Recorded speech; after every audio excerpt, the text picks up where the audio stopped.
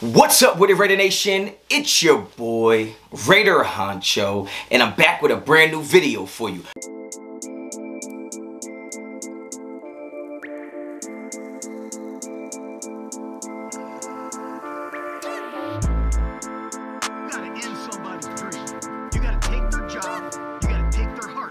Alright guys, get right into it. You already know the vibes. You already know what type of time I'm on. If you're not a subscriber to the channel, well damn subscribe to the channel. Also, hit me up on Instagram and Twitter, both at Raider Honcho. And don't forget to check out RedemptionBrand.com right now. Pick up some of that fire merch. So, the Raiders get the dub yesterday. The Raiders beat the New England Patriots. The Raiders did what I thought they was going to do, which is beat the New England Patriots. Now, wasn't as easy as I thought it was going to be.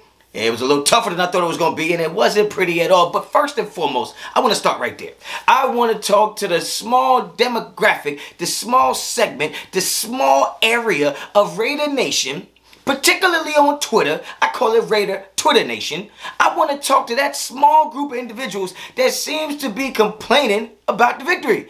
Listen, man, we cannot be on Twitter arguing with each other about what's a good win and what's a bad win. A win is a win. They do not ask you how, they ask you if. It does not matter how you win. You just have to win the game. That's what we play for. You play to win the game. Shout out to Herm Edwards. Some people said I'm going to look like Herm Edwards when I'm like 60 years old. I don't know if that's a compliment or not, but it is what it is. I can't change the way I look, baby.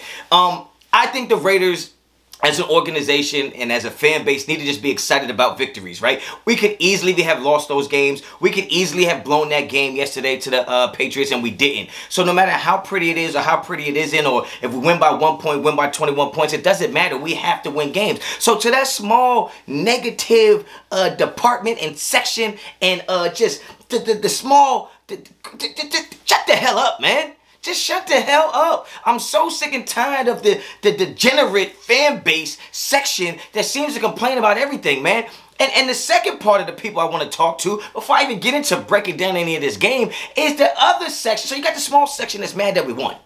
But then you got the other small section that don't know a damn thing about football. I wrote it on Twitter. Blue Check Poppy has spoken, okay? I will reiterate the same sentiments right here, right now, okay? Half of y'all wanted Jimmy Garoppolo and said Jimmy Garoppolo was an upgrade from Derek Carr. Now you see Jimmy Garoppolo in person and you don't want him anymore. You want him to get benched, okay? You want AOC to play. Put in the rookie. Put in the rookie. The rookie goes out there against the Chargers who has a tough front seven and he plays a pretty damn good football game. You guys want to get rid of him. You're already talking about who we're going to draft in the first round next year. And then you don't have either one of them as an option. So now when Jimmy Garoppolo gets hurt, Brian Hoyer has to come in the game. The person that y'all complained about all offseason, why is he even on the team? He should be cut. He should be inactive. Well, he actually came in and played a pretty damn good football game. He actually put the ball where he needed to go. He didn't make anything worse. He held on and sealed the victory for the Raiders. And I feel like that just goes to show that most of y'all out there with these apps, that talks so much crap about Raiders and football this and football that, you don't know a damn thing about the sport. You don't know a damn thing about any of what you're talking about. You are just talking to hear yourself talk at this point. I'm not even talking about YouTubers or content creators.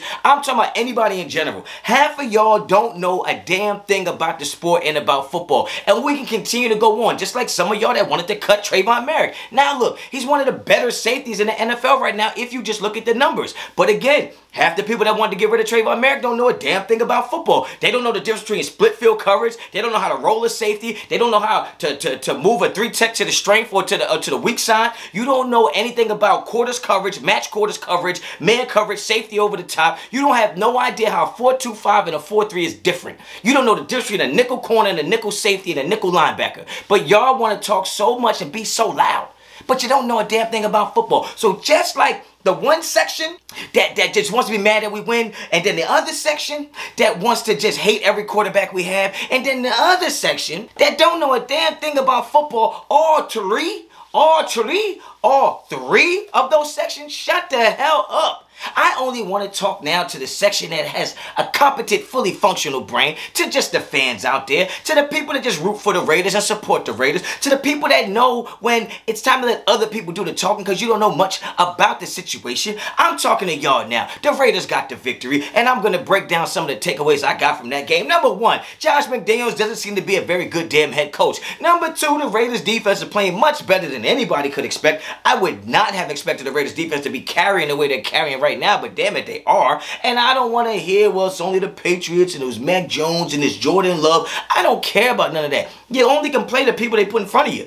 And the Raiders defense, regardless of who we're playing, the style in which they're playing is improving. The speed in which they're playing is improving. The aggression in which they're playing with is improving. That shows me that they're getting a lot more comfortable in the system. That shows me that they're, they're knowing their assignments and they're being able to get there faster. Um, we're starting to create some turnovers. Um, defensive line is getting a little bit of pressure. We're, we're just playing well as a defense right now. I don't care who we're playing. I'm starting to see positive signs from that defense, okay? Outside of that, Jimmy Garoppolo. He just doesn't do it for me, man.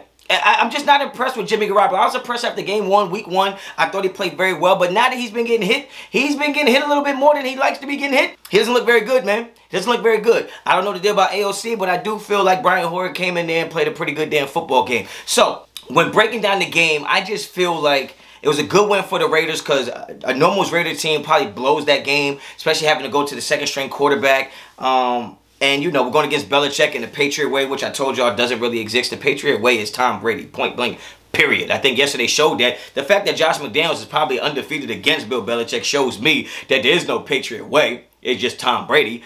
Um, and I just, I'm just...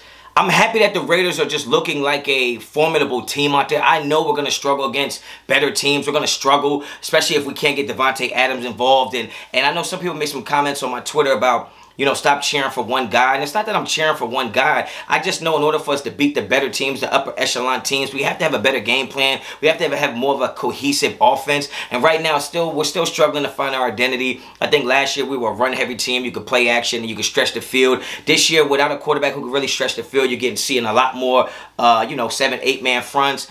Uh, they're going to bracket Davante Adams, but it's like a fake bracket because they know you're not going to throw it to him if you have two guys over there. So they'll just show you two and then roll over to the other side that they know you're going to throw the ball to. So I think we have to force Davante Adams the ball at some point. It just is what it is. Like basketball players are going to take tough shots. Quarterbacks have to make tough throws to their star players. You got to give them a chance. It, it, just is what it is. Um, so I think the whole Jakobi Meyers getting every target is just not a good look for us because I think other teams are allowing you to do that. They're going to say, all right, we'll let you try to beat us with Jakobi Meyers, and it's not going to happen. So I just feel like offensively, we're just really struggling. I think defensively, we're carrying right now. Um, I don't think that's going to be able to hold up against the better teams in the NFL, but it is where we are right now, and it got us the job, uh, got the job done the last two games.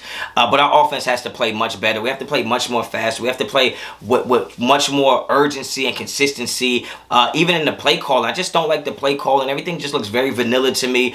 I don't know if he's saving the playbook for the playoffs. I don't know what he's doing, but it just doesn't look very impressive. It doesn't look like we're going to put up enough points to beat a lot of teams. I mean, it's the first time we've gone over 20 points this season, and honestly, that's because Maxx Crosby in the defense forces safety. Um, so outside of that, we're still not scoring enough points for me to be comfortable with us competing with the upper echelon teams in the NFL, even the AFC for that matter. But I do like what the defense is doing. I do feel like the defense is still a few pieces away from being a legit defense. But right now, you can see that they're making strides. You can see that they're starting to put the pieces together. The, the same weaknesses we had before the draft, the same ones we have now. No interior line help. Uh, we don't. We're not great at the linebacker position, and our secondary is missing a shutdown corner or a number one corner. I like Marcus Peters, but I told y'all when we got him, he wasn't gonna be the Marcus Peters of old. He used to be a great player. He's no longer a great player. He's a good football player, but it's just not going to be enough when you're playing the, the upper echelon wide receivers of the AFC and the NFL. So, in order for us to be a real contender, not a pretender, we've got to get more pieces. But I am happy where we are right now. We're, we're 500.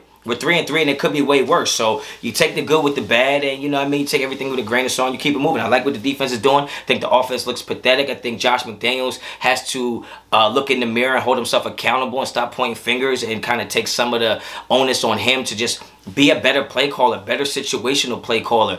Running out the clock and kicking field goals is the same thing we were mad at Derek Carr and Jon Gruden for doing, and all of a sudden that seems to be the Raiders' identity. Like we're not, it's not even like the Raiders. It's not my issue is that the Raiders aren't scoring a lot of points. It feels like the Raiders aren't even trying to score a lot of points. It feels like the Raiders are just content with going out there and kicking as bunch of field goals as they can and trying to let our defense win us the game, which is not going to be a winning recipe. It's worked so far against some of the bottom feeder teams, but it's not going to be a, a, a long-term uh, recipe for success. So get down in the comments, let me know what you guys think about the game, how you feeling about it, you're positive, you're negative. I actually don't want to hear if you're negative. Just get down in the comments, man. Let me know what you think. If you like the video, like the video. If you like the content on this channel, subscribe to the channel. Hit me up on Instagram and Twitter, both at Raider Honcho. Blue Check Poppy is in the building. Hit up redemptionbrand.com right now. Get you some of that fire merch. Until next time, as always, with a Honcho out.